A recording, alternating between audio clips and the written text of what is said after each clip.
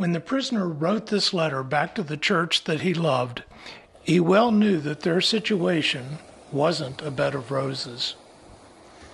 Their town had been the site of the last battle of the Civil War. As a reward to the victorious soldiers, the Philippians' tillable land had been confiscated and given to the Roman veterans. This had put them on an economic precipice and their social status as non Romans caused them to be ostracized. Meanwhile, in Rome, the Romans were deciding whether their prisoner Paul would live or die. Paul had given the Philippians an update on how prison life was going. He had exhorted them to be humble in their relationships with one another and address some issues in the church. Now, he concludes his letter in what I think of as an advice sandwich, but before giving any advice, he reminds them of how much he loves them. To mix metaphors, the bookends to his advice echo one another. He exhorts them to, quote, stand firm in the Lord in this way, unquote, and to put into practice whatever they had learned, received, or heard from Paul he encourages the two female leaders to, quote, be of the same mind in the Lord, unquote, and adds a commendation for how they had worked alongside him back in his days of freedom.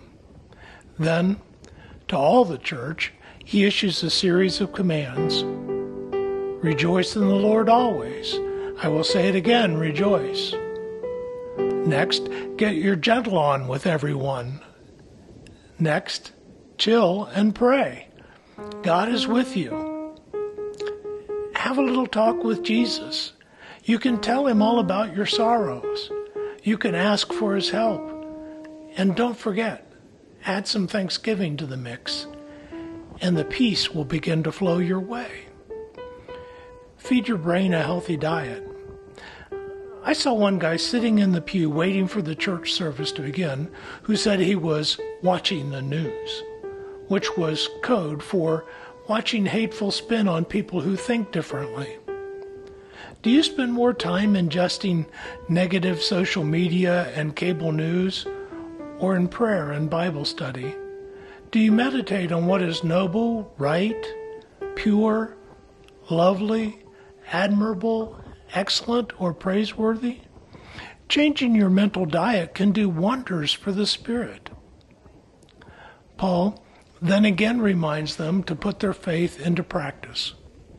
When we talk about a medical doctor's practice, we're talking about putting his medical training to use we should keep in mind that our rejoicing, our gentleness with one another, our conversations with God, and our healthy mental diet are all meant to work themselves out in practicing our faith, loving God, loving others in a way that brings God glory and builds others up. When you square away your internal life and put your beliefs into action, the God of peace will be with you. May the peace of the Lord be with you in these troubled times.